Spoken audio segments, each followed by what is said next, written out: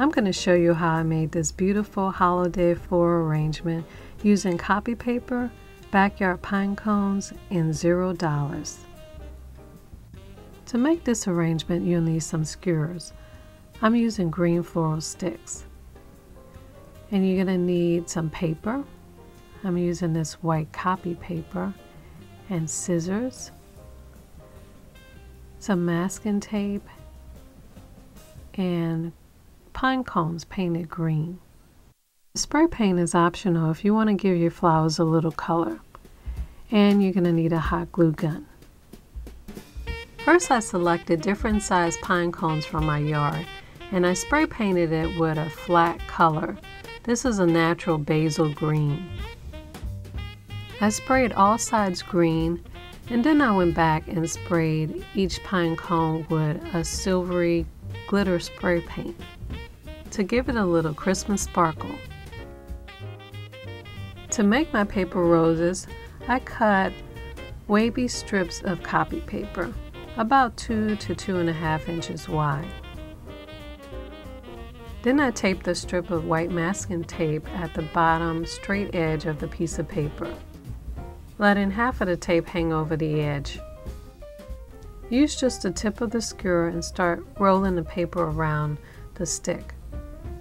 Roll it around once tight and then loosely go around leaving some slack and squeezing the tape at the bottom. You're gathering the tape up at the bottom and making little pleats. So as you go around you'll get a nice spiral. Then roll masking tape around the bottom part of the flower to keep everything together. Roll 6 to 8 flowers with or without the skewers. If you use the skewers, make sure you cut it short so that you can tape it to the base stem. This is a project you could get your kids to help you with because it'll take some time to roll flowers.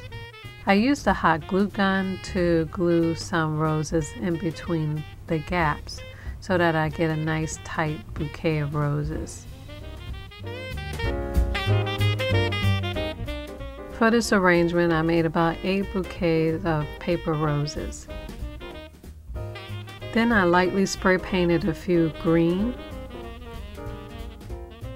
and a few cream. I left the rest white.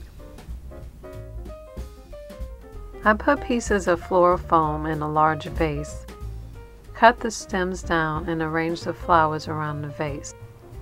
I tied pieces of wooden skewers to the pine cones that I painted and arranged them between the gaps of the flowers.